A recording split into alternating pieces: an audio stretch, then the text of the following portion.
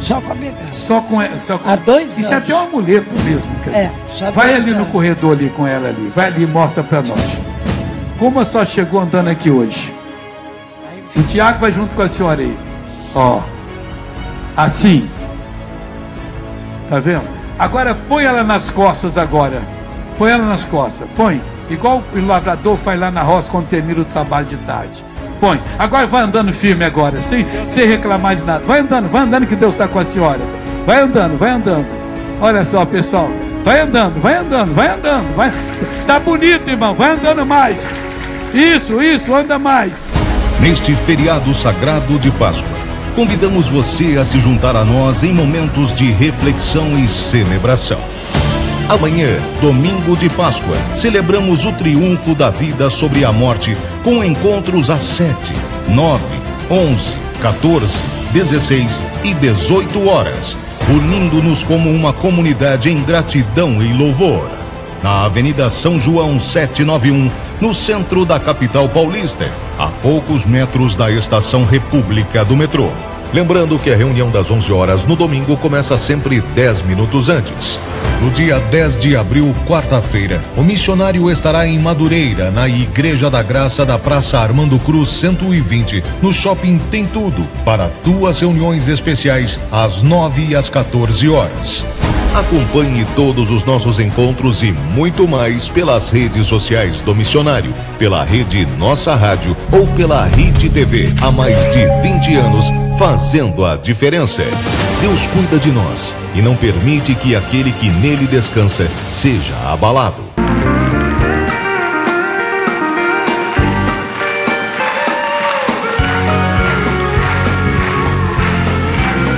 Estou seguindo a Jesus Cristo. Nesse caminho eu não desisto. Estou seguindo a Jesus Cristo. Atrás não volto, não volto não. Atrás o mundo, Jesus à frente. Jesus é o guia onipotente. Atrás o mundo, Jesus à frente. Atrás não volto, não volto não. Estou Vamos aplaudir a Jesus. Ô meus amigos, nós estamos aqui em nome do Senhor Jesus. Hoje é o terceiro culto e esse eu faço só a metade. O pastor Jaime faz outra parte que eu vou para minhas campanhas. E Deus já abençoou nos dois anteriores bastante e vai abençoar neste. E você que está em casa, prepare-se para nesse domingo vir participar da Santa Ceia, não Santa Ceia, não da Páscoa, que é qual Santa Ceia? Comer o pão e o vinho, mas com o, o agradecimento pela nossa libertação do império das trevas. Foi quando Jesus ressuscitou e nós então vamos comemorar a Páscoa do Senhor dessa maneira. Por falar em tanta coisa boa que Deus está fazendo, eu queria chamar a sua atenção para a mensagem que eu terminei. É, a mensagem que parei na metade, quando eu estava falando de Isaías 32. Isso aqui é que adianta, porque você entendendo a palavra de Deus, a fé vem. Se você não entender, não vem. A fé vem pelo ouvir, pelo entender. Você escutou, uhum, ouvi, entendi. Aí a fé vem. O que é fé? Uma certeza que vem ao seu coração que se você reivindicar aquela bênção, mandar o mal embora, você é abençoado. E este é o segredo do nosso ministério, que graças a Deus. Eu vou dar uma, uma, recapituladazinha só nos dois versículos, que a maioria aqui não esteve no culto anterior, para você entender. É, Isaías 32: Reinará um rei com justiça e dominarão os príncipes segundo o juízo. O rei é o Senhor Jesus, ele reinará com justiça. Por que, que ele reina com justiça? Porque ele fez a obra que era necessário. Adão pecou, nos vendeu ao diabo e o diabo tomou a, a, o poder de Adão, a habilidade, e com essa habilidade ele nos oprimia. Mas Jesus Cristo veio e pagou o preço. Quando ele morreu, ele desceu ao inferno. Três dias ele venceu o diabo, tomou dele tudo aquilo que, faz, que ele tinha para nos fazer doentes, perturbados, sofredores. E por que, que ele teve que sofrer? Porque ele pagou o preço, ele despiu o diabo, o diabo não entendia que Jesus ia fazer isso com ele. E aí o diabo ficou derrotado. Não tem mais nada que tocar em nós. Há uma divisão clara entre nós e o poder maligno. Quem é de Deus, lá em 1 de João 5,18 diz, e o maligno não lhe toca. Se vier, você não aceita. Agora, se você aceitar o sintoma, ou ficar com medo, estão falando aí que eu vou pegar essa dengue. Muita gente está pegando. E você então Ora, já não vou pegar em nome de Jesus. Clama a imunidade de Deus. Vindo, se manda embora. E exige o seu direito, que é o que a Bíblia Sagrada diz. E diz mais assim: e dominarão os príncipes segundo o juízo. Nós somos os príncipes, os filhos de Jesus, que temos que dominar segundo o juízo. Que juízo é esse? Da nossa cabeça? Não. O juízo que Jesus executou sobre o diabo. É baseado nisso que nós não aceitamos o mal, exigimos a saída e o mal vai embora. Passamos aqui no primeiro culto hoje um testemunho de uma família lá do Ceará. Simples, gente simples, ela fazia limpeza de casas e ele um emprego também simples. Mas só que se converteram e pegaram um amor grande que muita gente tem que aprender. A pé levava duas horas para ir na igreja, eles iam, porque não tinha dinheiro de passagem. E tinha uma bicicleta que deixava também descansando lá, para também não gastar e tal. Mas quando ia de bicicleta era mais fácil, era ele, a mulher e os filhos lá na igreja. E ela então pôs no coração que ela iria prosperar que eles iriam prosperar, porque a Bíblia diz que a, a, a bênção do Senhor enriquece e não acrescenta dores. E Deus não lança nada em rosto do que você foi no passado. Então ela começou crendo, crendo, crendo e morava de favor numa casa cedida pela família. E de, morar de favor nunca é bom, porque às vezes se ouve coisa, o pessoal está chateado, fala, mas ela ficou firme ali. Um dia chegou para o pastor e disse: Pastor, está funcionando. Trouxemos a chave aqui da nossa casa, compramos um apartamento, dois dormitórios, é, sala tal, e piscina com deck ainda. Olha aí, coisa começou a ser grande. Às vezes a gente pensa muito apertado. Ah, Deus, me dá um barraquinho na favela. Oh, mas você pode dar um barraquinho na favela, pode dar uma casa no Morumbi para você, ué. Você tem que sentir dele o que, que você deve pedir. Ele conversa com você, você vai servindo ele. Quando menos espera, vem aquele desejo, ó oh, Deus, se era, eu vou conseguir. Conseguiu. Naquele ano mesmo, foi lá para ele abençoar o carro, comprar o carro. Aí veio o melhor deles. Eles arranjaram uma, uma lojinha que você vê lá, parece que tem um metro e pouco assim, para vender tipo pão, essas coisinhas de, de mercearia. Mas do lado tinha uma padaria, então não ia vender nada. Vendiam, foram prosperando. Meu irmão, Deus deu a vitória. O que eles estão precisando agora é só de ouvir mais a Deus, porque não para por aí. E Deus pode fazer muito mais. Então, é, a base está aqui: olha, reinará um rei com justiça, sem justiça ele não reina. Na sua vida, não. Você tem que entender, clamar, e pacientemente, nada de chutar parede, não. Deus, eu estou falando contigo, para com esse negócio. Você fala, Senhor, eu queria que o Senhor me ajudasse aqui, que eu quero tomar posse da minha bênção. Aí tudo bem. E será aquele varão como esconderijo contra o vento? Quatro coisas. O varão é Jesus. Ele é um esconderijo contra o vento. O vento aqui é a força maligna. E que mais? E como um refúgio contra a tempestade. O demônio trouxe tempestade para o mar. Jesus estava dormindo e os discípulos acordaram. Senhor, não, não te interessa que nós pereçamos? O Senhor não vai fazer nada? Jesus falou assim: Onde está a fé de vocês? Vento, cala-te. Mar, aquieta-te. Na mesma hora, o bonança. Esse meu Deus, que é esse que até o vento e o mar obedecem? Esse é o nosso exemplo. Em situação perigosa, tempestade está demais, a família doente, é isso acontecendo. Deus, eu quero agora parar essa tempestade. Continuando e como ribeiros de águas em lugares secos. Não tem terra improdutiva, tem terra que não tem água. Israel provou isso aquele lugar lá que é quase um semideserto, faz um gotejamento e vira jardim ali. A mesma coisa espiritualmente em qualquer sentido.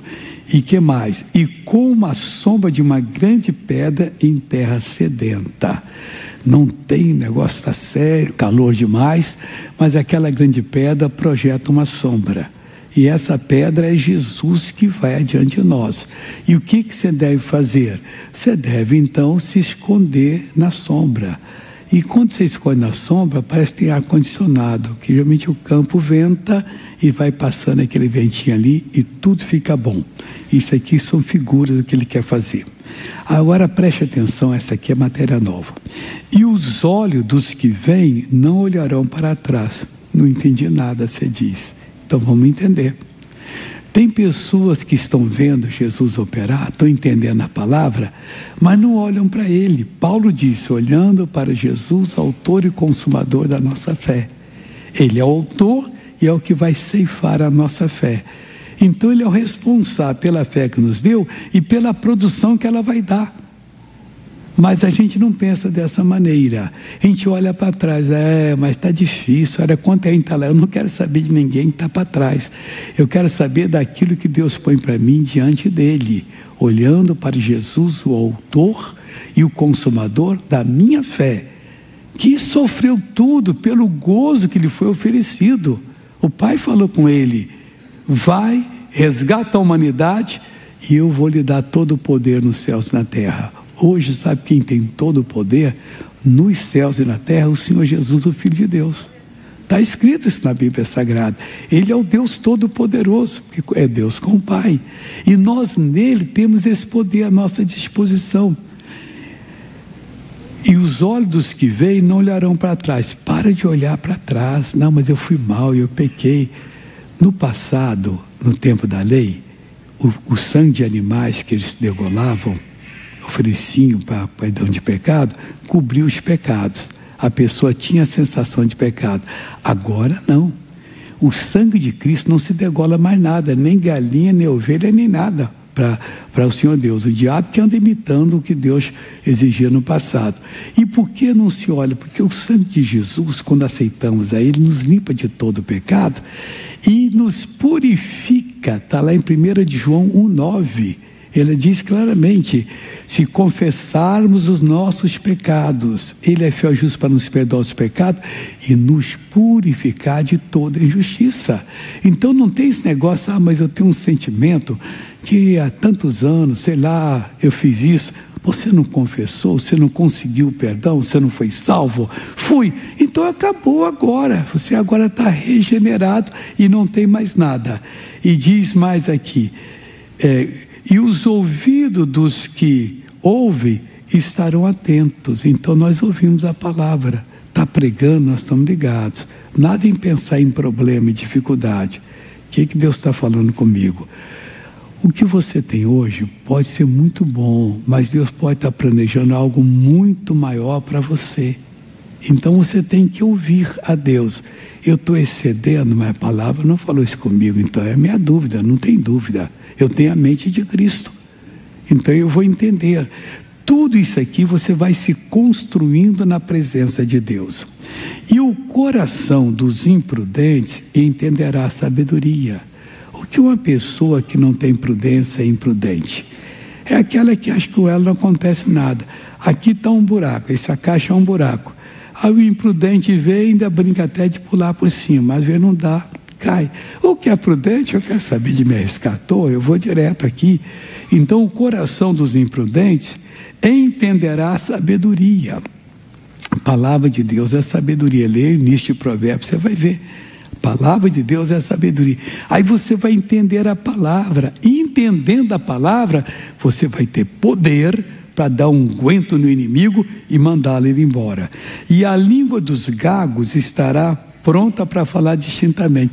O que, que é o gago aqui? O gago é que, é que, é é que até a gente brinca de um pastor, nosso amigo, já está com uma certa idade, brincava antigamente, né? Diz que o ladrão roubou dele e ele lembrou que tinha que amarrar e ficou.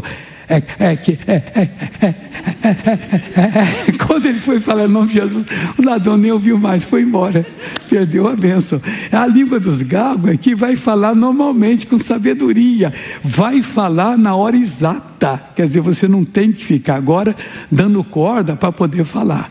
E você vai simplesmente tomar posse da bênção. Amém?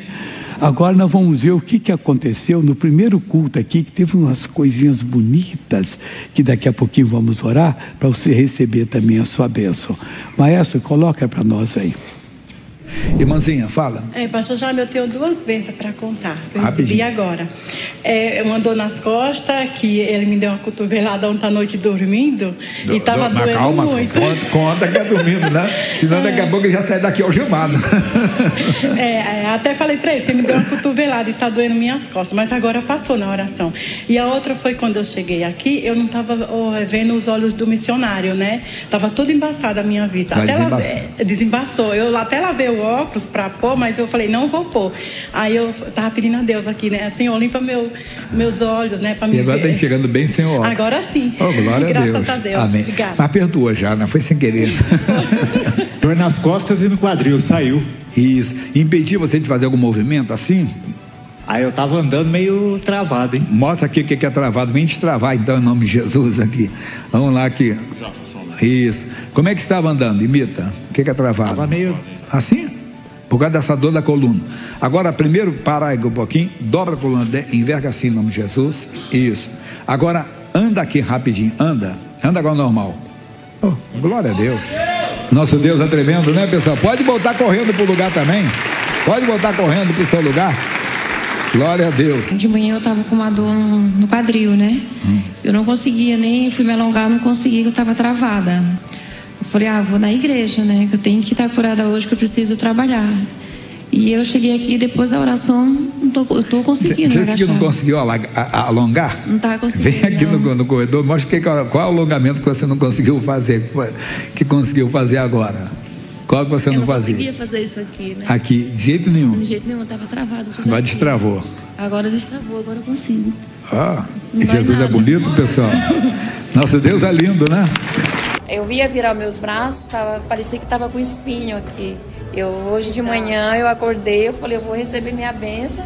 Essa dor tem que ficar, tem que sair, né? E eu não conseguia fazer isso aqui. Aqui, ó. Eu não conseguia. Depois que o pastor orou, aí eu, falei, ó, cadê minha dor? Minha dor sumiu. É, esse é o nosso Deus, pessoal. Está disponível a nós 24 horas por dia. Deus não se cansa, Ele já fez a obra. É só a gente entender, crer, que aí o poder de Deus passa e faz. Isso está acontecendo no mundo todo, pessoal. Nós estamos pregando a palavra. Esses cultos hoje, o anterior, esse eu não sei quantos, está sendo traduzido para 17 idiomas, dos mais falados no mundo até o lado do Irã estava sendo dado. Quem estava no Irã ligado com a gente estava vendo. Agora temos que continuar ampliando esse trabalho e Deus vai nos dar essa bênção em nome do Senhor Jesus. No culto é, anterior, eu estava, aliás, eu, esse, com esse culto agora eu termino a história do Elias é, sendo eleito profeta e assumindo. Não vou dar para ler tudo que eu li, porque aí só ler gastaria o tempo todo. Começa no 1 Reis 17 e capítulo 18. No 17, ele foi levado pelo Senhor Deus à presença do rei Acabe, que estava destruindo as dez tribos chamadas Reino de Samaria. E eles então estavam introduzindo a feitiçaria, a bruxaria lá, é coisa triste. E mais ainda a falta de vergonha, porque o culto a Baal e a Zerá eram cultos pornográficos. E Deus estava triste com aquilo, mandou um morador. E por que não mandou um dos profetas? Ele tinha matado quase todos os profetas. Alguns, alguns Deus preservou para ele. Então Elias foi e repreendeu o rei. O rei diz: Mas que autoridade você fala? Eu vou te mostrar a autoridade. Se o senhor não parar, não vai chover aqui enquanto eu não mandar. Aí o rei achou que estava falando com um louco. E Deus disse para ele: vai esconder no, no ribeiro de Querite. Eu já ordenei os corvos para te levar pão e carne. Você vai, vai beber do ribeiro e vai comer disso. É, ao mesmo tempo, o ribeiro começou a secar meses depois, porque já não chovia mais, foram três anos e seis meses sem chover. E Deus disse: uma, eu, Você vai a Sarepta de Sidom, lá já no Líbano, porque eu ordenei uma mulher viúva que te sustente lá. E naturalmente ele falou para a mulher: Eu estou mandando um profeta que vai te alimentar. Quando Elias chegou na porta da cidade, ele viu uma viúva catando uns, gra, uns gravetos, uns cavacos e pedaços de madeira, e ele pensou assim: Deus deve ter falado, essa aí é viúva. Ele disse: Mas senhor, essa aí não, coitado, não tem nem dinheiro para comprar um cavaco, ainda vai me sustentar? E ela deve, ele deve ter falado com ela: Esse é o profeta.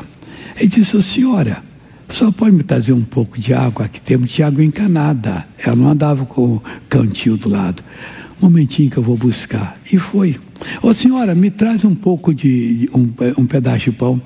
Oh, vive o Senhor, Deus profeta, homem de Deus, que eu não tenho nada. Estou pegando esse cravata aqui para fazer o último pão para mim e o meu filho comermos e morrer. Não tem mais nada. Ele disse: tá bom, só falou direitinho, só vai fazer para a senhora e o filho. Mas primeiro faz um pequeno para mim. Colocou ela em fé. E a mulher foi lá e fez e trouxe. Agora vai fazer para o seu filho.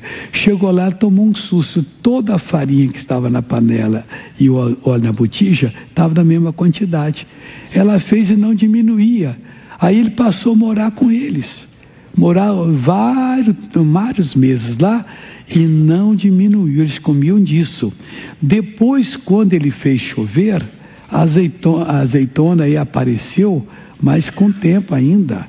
Vai dar o broto, vai sair tudo, vai amadurecer, vão extrair o azeite, vai plantar o trigo, vai levar uns quatro, três meses e pouco para poder colher, até que ah, já tinha fartura, não precisava mais da, daquela multiplicação. Mas antes disso, o Senhor Deus então deu um sinal para ele. O filho da mulher morreu e ele ressuscitou o menino.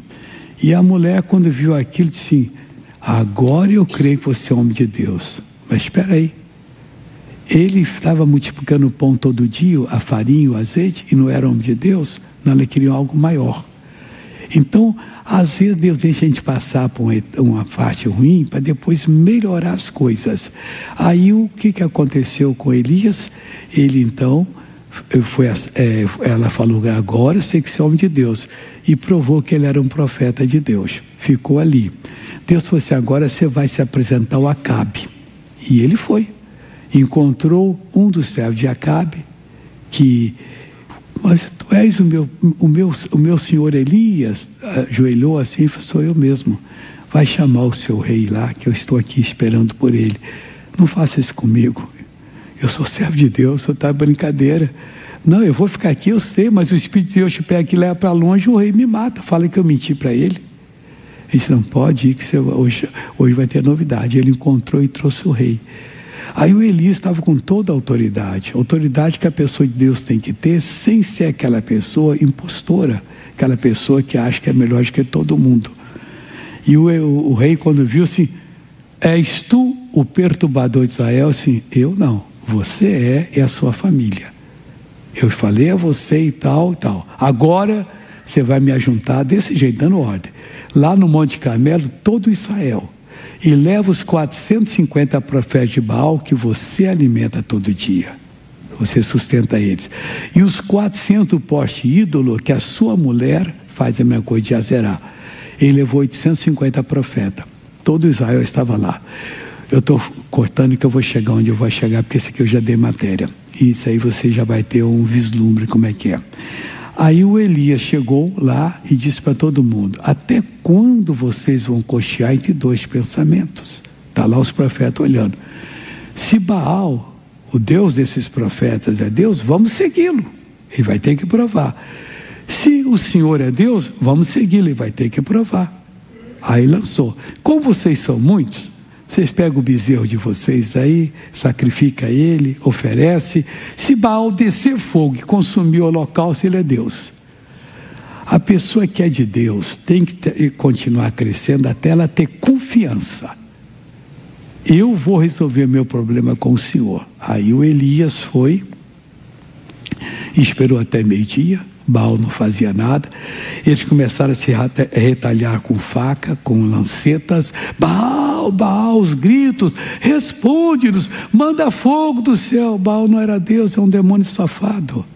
Tem muita gente que serve um espírito achando que aquilo vai ajudar ele. Irmão, quando Jesus vier, Deus vai mostrar para todo mundo.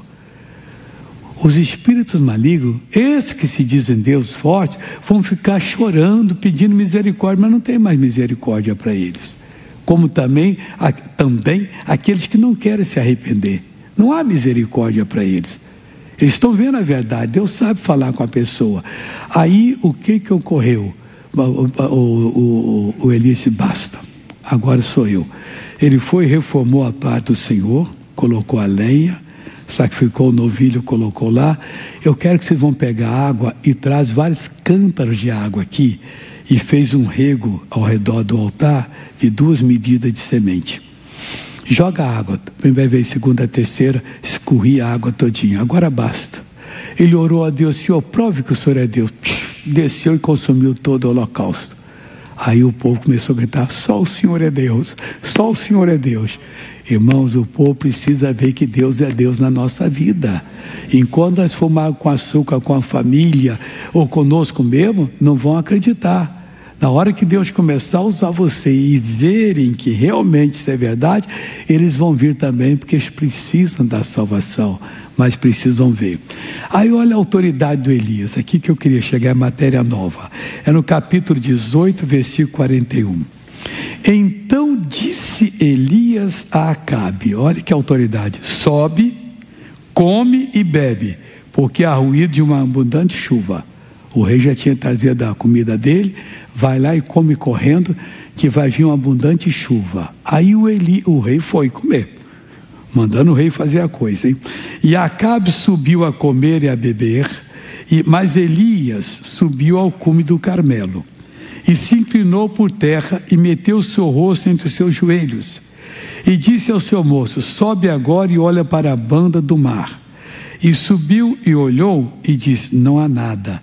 Então disse ele: Torna lá sete vezes. Que ele queria ver se já vinha a nuvem que ia dizer. Sete vezes Elias orava e mandava orava e mandava, e disse: Não vem nada. Na sétima vez. E sucedeu que a sétima vez disse: Eis aqui uma pequena nuvem, como a mão de um homem subindo do mar. Então disse Elias, então disse ele: Sobe e dize acaba, acabe ao rei: Aparelha o teu carro e desce, para que a chuva te não apanhe. E sucedeu que, entretanto, os céus se enegreceram com nuvens e vento, e veio uma grande chuva, e Acabe subiu ao carro e foi para Jezreel. Foi na frente, a toda velocidade. Cavalo chega a correr 60 km por hora. Não sei quanto estava correndo esse.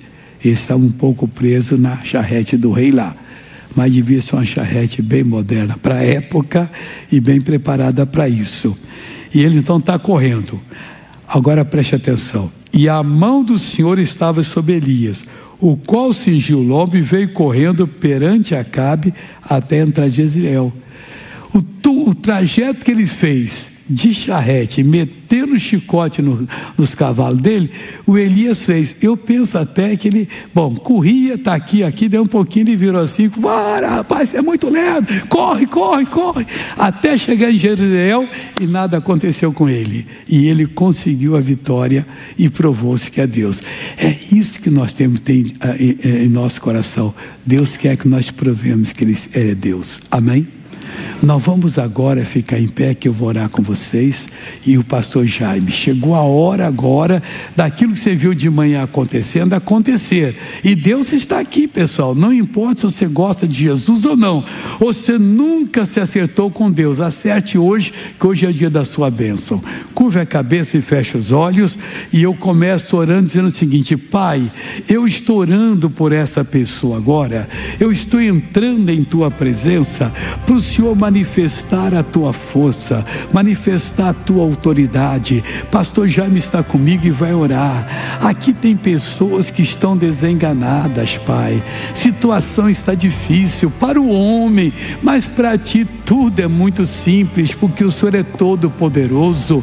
Então, em nome de Jesus, agora nós vamos amarrar os espíritos malignos, conforme Ele ordenou, amarrar a, a fonte desse mal e vamos mandar sair, Pai. E queremos ver o Senhor operando espírito de doença, de enfermidade, de perturbação, espírito da miséria, da, da falência, espírito do desemprego, da loucura. Vocês estão amarrados agora, e em nome de Jesus vocês vão sair, vocês vão bater em retirada agora. Meu Deus, escuta a ordem que o pastor Jair vai dar aos demônios agora. A autoridade está no nome de Jesus. Meu irmão, vem comigo agora, levante a sua voz, diga ao mal saia. Eles vão juntos, determine, exija, o mal não aguenta, o mal não resiste o poder que é no nome de Jesus. Elias mostrou autoridade. Você mostra autoridade agora no mundo espiritual. O mal sai do meu corpo agora. Você está com câncer. Amaldiçoa esse cândido, assuma do meu corpo agora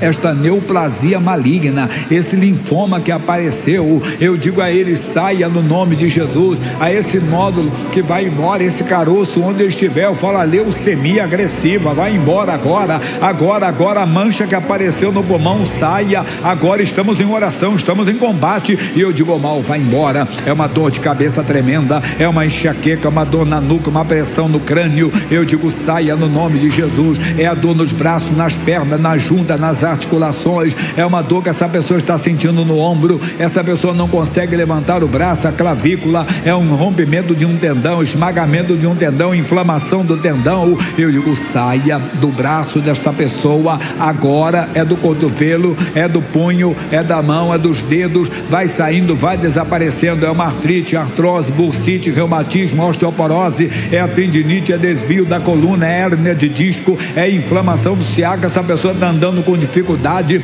É uma dormência que está passando pela perna. Eu digo: sai agora. Aquela dor na cabeça do fêmur, no quadril dessa pessoa. O desgaste do quadril sai agora. Agora, agora, agora, agora, em nome de Jesus. A dor que está aí no joelho dessa pessoa é a inflamação dos meniscos, da cartilagem está voltando. Líquido em nome de Jesus sai. Sequela do tombo, sequela do acidente, vai embora em nome de Jesus. O inchaço na perna, o que inchaço está aí na panturrilha dessa pessoa, uma má circulação, é febrite, erisipela, é uma úlcera varicosa que não cicatriza, vai saindo a trombose, a sequela da trombose, sequela da vacina, sequela da Covid. Nós mandamos embora, nós exigimos, nós ordenamos que saia, que vai embora, desapareça mal, sai agora do tornozelo dessa pessoa, está inchado esse tornozelo, é o calcanhar que está rachado, é o olho de peixe, é o esporão de galo, em nome da inflamação na unha do dedo, essa pessoa está quase perdendo por causa da diabetes, a má circulação chegou aí nesse dedo, saia agora,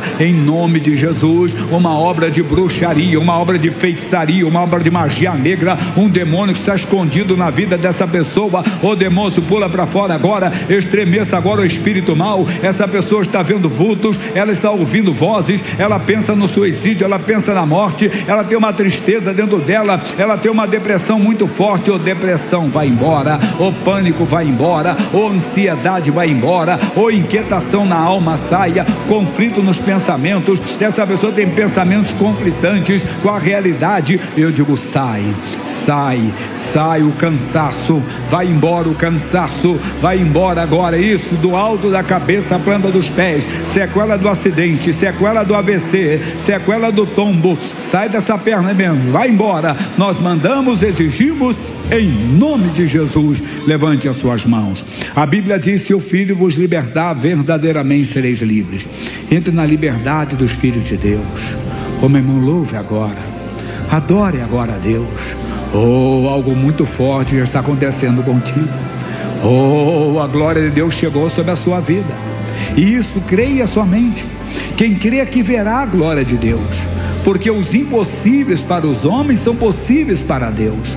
Oh, meu Deus, meu Deus, se mova no nosso meio. Se mostre para o teu povo de uma maneira especial. Se mostre agora com os dons de curar, o dom da fé, da operações de maravilhas. Diga obrigado, Senhor eu recebo a minha bênção em o nome de Jesus. Amém. Glória a Deus. Jesus é bom. Olha, o Senhor te visitou. Se visitou, levanta o braço que você não levantava. Era clavícula, era o ombro, vai lá. Era aqui, ó, o cotovelo, dobra em nome de Jesus. Era a mão, o punho, vai lá em nome de Jesus. Você não pode ser ingrato. Você sentiu, você tem que dar o testemunho para a glória de Deus. Veja o quadril, você não conseguia mexer direito, é que nem a moça da mãe que não conseguia se alongar. Vai lá. Ou a perna, o joelho. O joelho está sendo muita gente. Vai lá. Você estava andando com dificuldade, não estava nem conseguindo pisar porque eu estava inchado o tornozelo ou calcanhar. Quem saiu a dor, mal? Levante a mão em nome de Jesus. Vai contar, você tem que contar. Já vou pegar do senhor já aqui na frente também. Você tem que contar que é para a glória. Você vai dar a volta ao mundo, meu filho? Deixa para deixar eu ficar mais rápido ali. Isso, deixa eu pegar do irmão lá primeiro. Fale. Era o ombro e a dormência no braço. Dorme, dor no ombro e dormência, no braço. Glória a Deus. Aí a moça aqui, fala, irmão. Ombro. Dor no ombro Tava também. doendo muito. Você não conseguia mexer? Tava, eu tava mexendo, mas doía muito. Doía muito, não está doendo mais. Não, Você tem que falar, não deixa de dar o testemunho, não, o, bra- o branco ali. É dormência no braço também. Dormência no braço também, glória a Deus. Quem mais, pessoal? Vem aqui na frente, o Joaquim José da Silva Xavier. Isso. Fala, moça. É, rapaz, pastor Jaime, é, o meu testemunho, ele não é de hoje. Fala rapidinho, por causa do É, meu horário. há alguns meses atrás, eu tive na UTI, porque eu tive pedras na vesícula, e algumas dessas pedras desceu pro canal do pâncreas e acabou machucando tudo. Tinha ido a primeira vez no hospital sentindo dor, só que o médico me mandou para casa, falou que não era nada tão sério. Aí a segunda vez que eu voltei pro hospital, eu voltei muito pior, muito ruim mesmo. E ali eu pedi para ser internada para ver, porque para mim não era normal tudo aquilo que estava acontecendo. Eu sentia que tinha algo andando dentro de mim. E aí, na- assim que o médico já me internou, ele começou a fazer um monte de exames. Na ultrassom, mostrou que eu estava com uma hemorragia muito grande devido ao machucado do pâncreas, com muita pedra na vesícula e estava tudo inflamado. A inflamação já estava caindo para a rede sanguínea. Mais um pouquinho que demorasse, eu tinha morrido aí e ia embora. tinha morrido. E aí o médico falou assim: menina, se você tivesse demorado mais alguns segundinhos que seja, você tinha morrido na tua casa. Aí passei um, um processo, tive na UTI, tive que fazer cirurgia, tive que fazer colo- colocar uma tela para não passar mais depois da retirada da pedra do pâncreas, para passar uma tela para depois começar a tratar o- a vesícula para conseguir tirar a vesícula. E ali fui várias vezes para a mesa de cirurgia e tive que voltar porque eu não, não conseguia, não estava. foi guardada pelo Senhor, né? Sim. E ali, em meia oração, muita oração lá na, na cidade de minha, na igreja, muita oração sobre a minha vida, eu também ali determinando, minha avó, meu pai, todo mundo ali Hoje determinando. está tranquilo. Hoje eu já tirei a vesícula, já tô bem, totalmente restabelecida, com a vida de volta. Andou pelo Glória vale da sombra da morte, o Senhor te guardou. Glória a Deus. Né? Ali o branco. O olho de peixe. O meu olho de peixe sumiu. Olho de peixe? Sim. E você está pisando com dificuldade? Cadê ele? É, é, tava, tava doendo. Doendo. Quando pisa, É, dói. quando pisa dói, agora não E tá agora você está mais nada. pisando aí, né? É. Pisa, pisa, pisa, pisa na cabeça do diabo. Glória a Deus. Quem mais, pessoal? Tem que correr um pouquinho. Cadê? Cadê? Ba- balança a bandeira quando for assim, falo, vem. Agora já veio, agora precisava balançar a nas bandeira. costas, passou. Dor nas costas passou. Glória a Deus. Quem mais? Na minha direita lá. Tem gente lá na minha direita lá. Vai lá, Paulo. Não me preocupa com os outros, não. Vai lá no que eu estou pedindo. Fala, irmão amarelo. É, sou Maria do Carmo. Fala. Ah, O pastor foi na reunião das sete em casa que eu estava assistindo, que eu costumo vir para das nove, mas estava chovendo, e eu acordei assim com a cabeça pesada, dor de cabeça e dor nos ombros, justamente o que o senhor orou. Eu falei, vou assistir em casa Passou e depois eu vou. Foi embora, graças a Glória Deus. a Deus, mas tá, lo- tá livre. Tem ali atrás o verde. Pode falar. É, pastor, eu estava com dor no punho e passou. Tá passando, glória a É, Deus. tá mais, mais alguém, pessoal? Mais alguém? Que eu também não dá para falar muita coisa não, por causa do horário. Senta agora, por favor. E diretor, me dá essa novela da vida real, por favor, em nome de Jesus.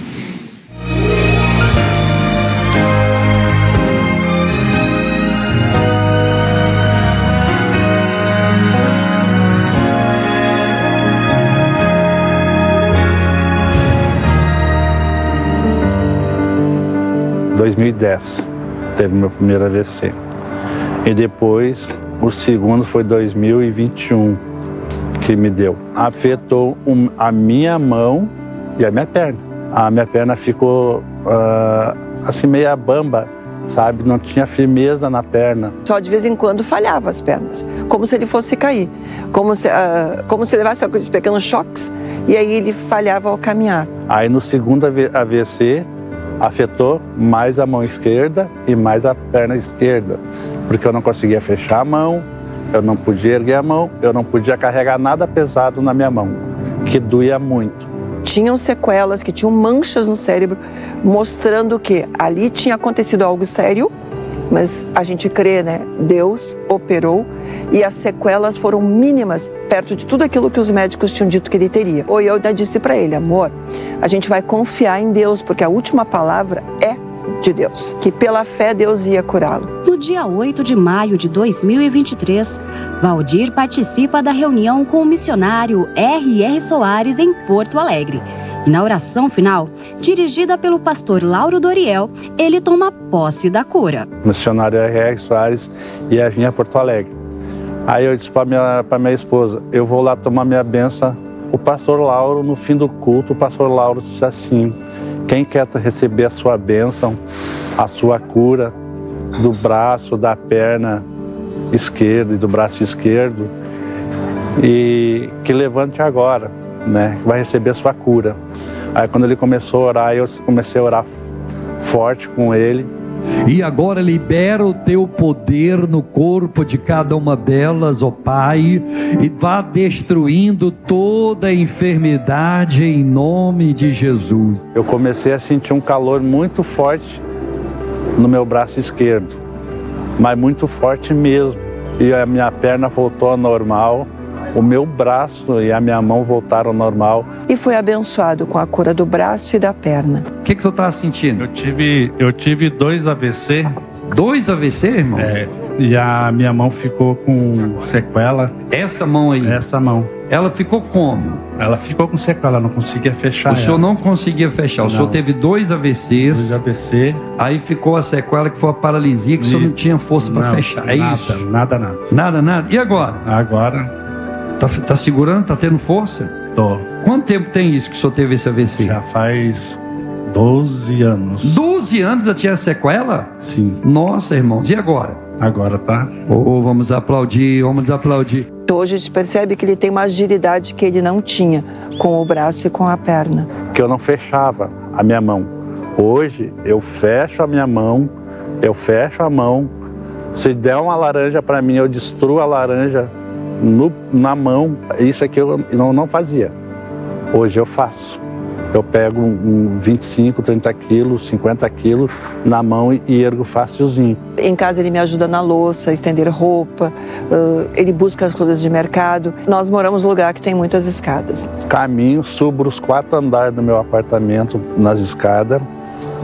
Eu subo, eu desço, eu caminho, subo lomba, desço lomba. O meu neurologista chegou e disse assim para mim: Rapaz, esse teu Deus é muito poderoso. A gente não consegue imaginar viver sem Jesus. Sem Jesus, a gente não é nada. Com Jesus, a gente é tudo na vida. Glória a Deus, a Ele toda a honra e toda a glória, viu?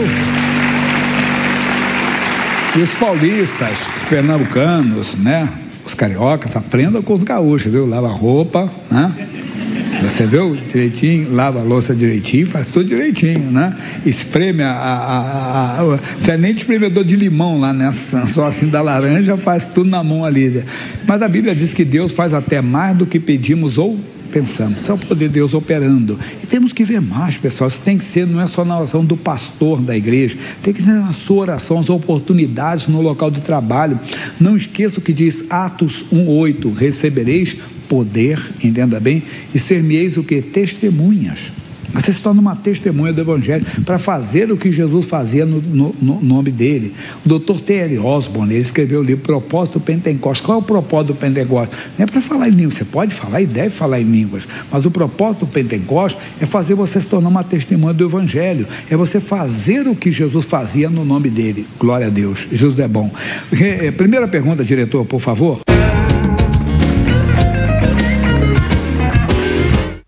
Missionário adiante de um problema familiar. É certo deixar a obra de Deus? Rapaz, olha que eu já vi isso aí acontecer em muitos casos, não adianta. O problema vai continuar. O problema não é a obra de. A obra de Deus não é empecilho para ninguém, não é impedimento para ninguém. Tem que saber, né? Conciliar tudo, mas não é, entende? E quantas pessoas sempre colocam a obra, não é porque a obra de Deus não meu tempo, a obra de Deus. Tem que saber, entenda bem, é, é, é, é vamos dizer assim, é, equacionar tudo, né? Dar um resultado certo. Tem tempo para tudo. A obra de Deus sempre é culpada para muita gente, não é não vai continuar os problemas, só que a obra de Deus você tem que fazer certo. Agora, fazer a obra de Deus não é apenas o pregador, não é apenas o pastor. Como eu acabei de falar agora, fazer a obra de Deus é esta, é criar. Vamos lá, eu não, não, não, não preparei para você não, mas vou te dar aqui rapidinho. Deixa eu ver aqui, para não errar. João, capítulo 5, capítulo 5, 6. Deixa eu ler. Isso. Isso aí, capítulo 6, versículo isso, 29. Diz assim, versículo 28. Disseram-lhe, pois, que faremos para executarmos as obras de Deus? Versículo 29 de João 6. Jesus respondeu e disse-lhes: A obra de Deus é esta, que creais naquele que ele enviou. Então você não, você não, não fala para mim aqui o que, o que é a obra de Deus. Deve dizer que você é um obreiro, é um diácono, um presbítero, um pastor, e a vida está enfrentando um problema familiar. E às vezes a pessoa vem, também, se eu fico o tempo todo na igreja, tem que saber equacionar, como eu falei. Mas cuidado, para você não culpar a obra de Deus. Os problemas vão continuar e você vai ver que não foi a obra de Deus. Creia naquele que te enviou, aquele que deu o nome de Jesus para você. Tenha autoridade, resolva o problema familiar sem deixar a obra de Deus. Segunda. Missionário, qual é o poder da oração na vida do ímpio? O poder da oração de qualquer pessoa para outra vale, muito vale a oração do justo. Agora, o ímpio ele deve se converter, porque Deus não poderá ouvi-lo. Porque o ímpio, o, o, vamos dizer, o conceito de ímpio para muita gente é quem fuma, quem bebe, quem usa drogas. Não. Às vezes o ímpio está na igreja, não fica zangado nem escandalizado, pode estar no púlpito da igreja. Porque quem é o ímpio? É que não tem respeito pela palavra de Deus. Aí vem o dia da angústia. Salmo 50, versículo 15. Olha o que, que diz ali. Invoca-me no dia da angústia, eu te livrarei e tu me glorificarás. O que é invocar a Deus? Trazer a palavra de Deus à tona, fazer um confronto entre os fatos e a palavra. Surgiu uma doença, aí ele clama: Eu não aceito essa doença, porque aí você invoca a palavra, porque eu fui curado pela fé de Jesus, mas não está funcionando. Veja o versículo seguinte agora, o 16: Mas ao ímpio diz Deus que tens tu que ressuscitar o meu estatuto e tomar o meu conceito na tua boca? Você pode repetir a Bíblia toda para Deus, não vai funcionar. Que é o ímpio, então aquele que não tem respeito pela palavra de Deus. Esse, alguém orando por ele, pela conversão dele. Tem o poder da oração daquele cristão, daquele justo. Muito vale a oração do justo, não do ímpio. O ímpio tem que se converter para que ele possa ser ouvido. Veja o caso do Saul. Saul, tá, não precisa ler 1 Samuel capítulo 28 versículos 4 e 5. Quando ele se viu cercado pelo exército dos filisteus, ele clamou a Deus. Deus não respondeu. Mas por que não respondeu? Porque ele estava na impiedade, ele tinha que se arrepender primeiro, é o que a Bíblia diz através de Jesus, Marcos 1,15. Arrependei-vos e crede no Evangelho. Aí tem resposta. Vamos abrir o coração?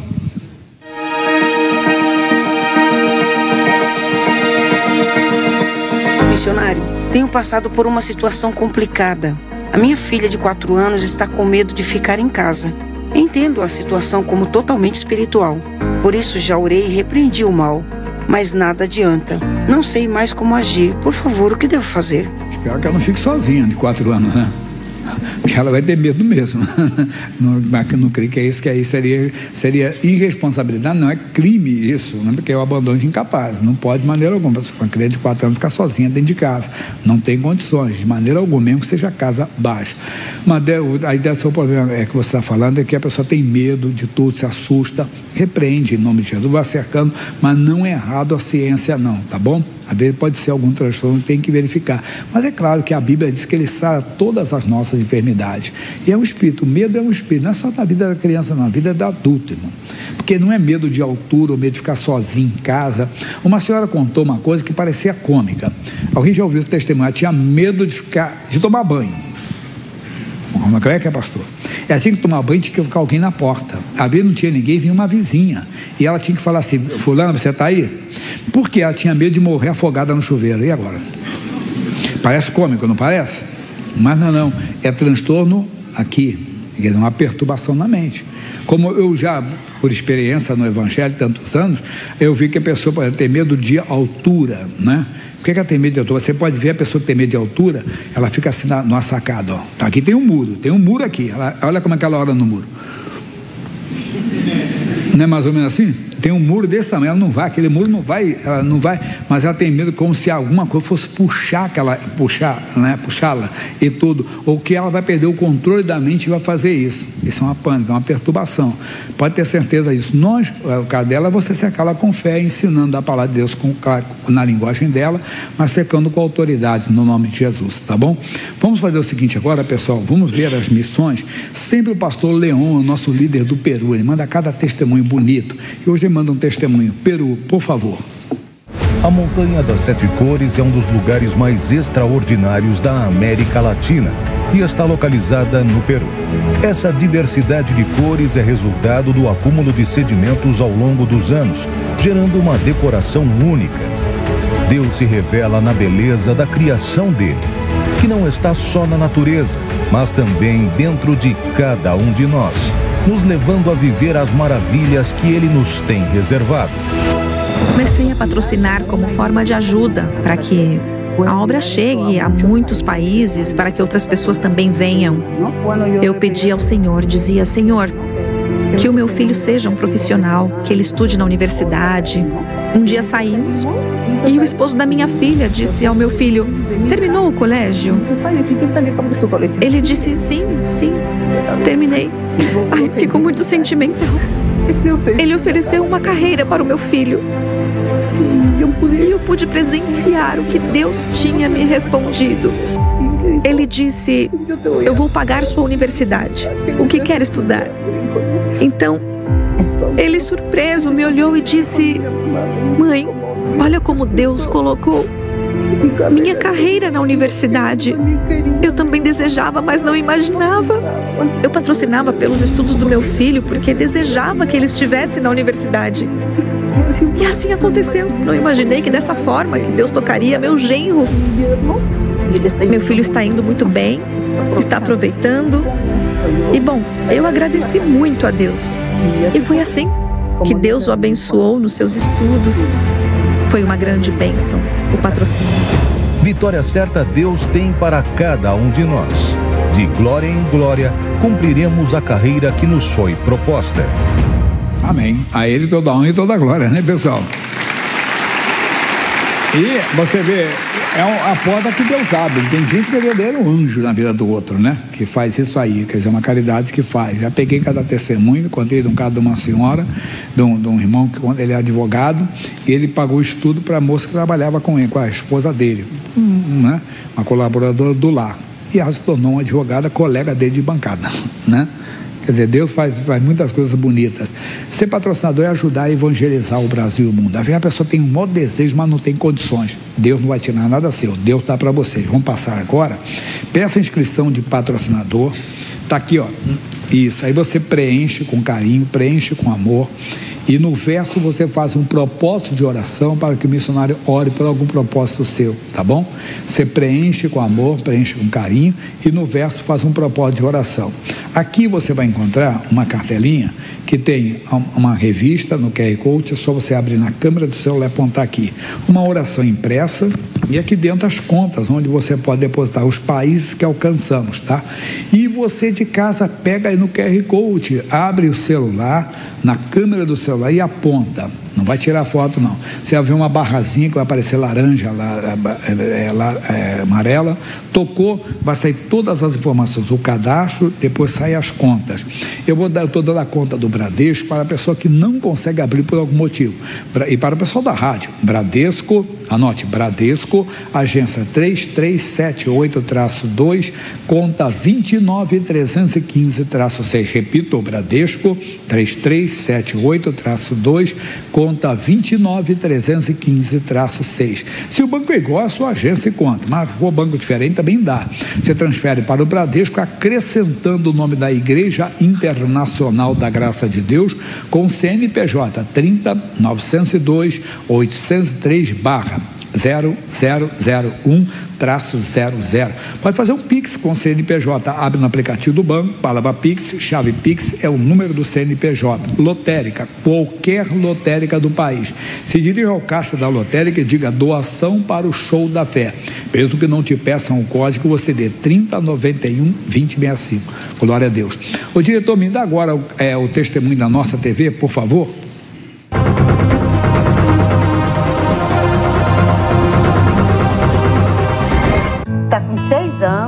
Eu tenho nossa TV em casa. Só que eu não gostava. Eu assistia novela, eu não era evangélica ainda, e assistia, em vez em quando, a novela da vida real.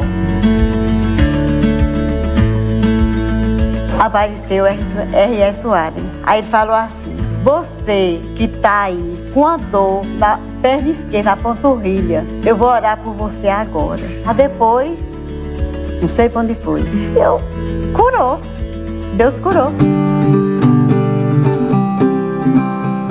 Aí eu fiquei gostando, né? Aí, de vez em quando, eu tava abusando das novelas, deixando mais as novelas de lado. Quando foi um dia, minha menina trouxe eu para a vim para cá. Aí me converti, eu já tá com cinco anos, eu sou evangélica. Através de minhas filhas e a nossa TV que eu coloquei na minha casa, que é uma bênção. E é uma benção mesmo, pode ter certeza. Nossa TV é a igreja dentro da sua casa. Se você não conhece, pede agora a programação para eles, leve depois você liga. Se eu não ligar, papel não precisa devolver, não. Mas o que é a nossa TV? A TV para assinatura tem 11 canais evangélicos. Por que nós falamos dentro da igreja? Que ela é uma extensão da igreja. Entende? Nem custo tem. Aqui, por exemplo, o custo é o menor deles, que é menos de uns 70 por dia, mas tem todos os evangelhos. O canal em espanhol, o canal da juventude e IGD. Quarta-feira eu prego seis vezes. Os seis cultos passam na casa da pessoa. Todo dia tem culto aqui. Todos os cultos passam no canal IGD. Canal da Bíblia, no cultor lendo a Bíblia para você. Coloca um versículo 2, diretor, por favor. Os lábios mentirosos são abomináveis ao Senhor, mas os que agem fielmente são o seu deleite. O homem avisado encobre o conhecimento mas o coração dos tolos proclama a estultícia. Tá aí para você. Aí tem o canal Show da Fé 2. Show da Fé 1 é o culto antigos. Show da Fé 2 é o culto do dia. Mais em espanhol, peça.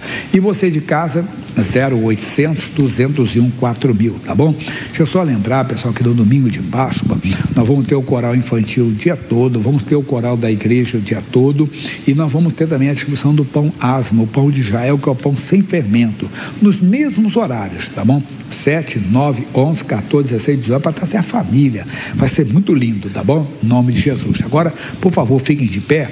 Já que eu falei de trazer a família, vamos dar uma bênção para sua casa. Depois eu quero que você entre na presença de Deus recebendo uma força do Espírito Santo. Feche os olhos, por favor. Você tem a promessa, eu tenho a promessa. Ela diz: crê no Senhor Jesus Cristo e serás salvo tu e a tua casa. Meu Deus, nós colocamos a nossa casa diante de ti agora. Colocamos alguém que está no hospital, Deus. Aquela senhora que pediu pelo esposo, mancha no pulmão, mas a mancha começou a desaparecer e vai desaparecer por completo. Deus, tem gente aqui precisando de um milagre na vida financeira. Alguém da família que já andou por cima e tem andado por baixo.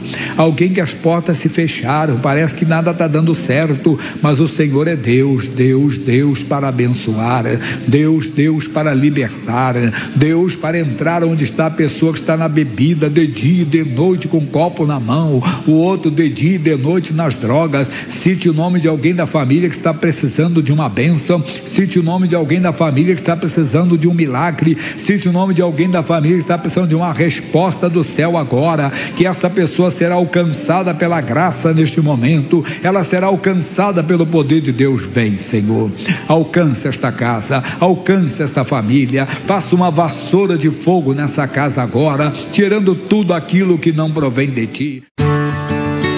Grandes coisas fez o Senhor por nós e por isso estamos alegres. Continue sendo abençoado por esta programação.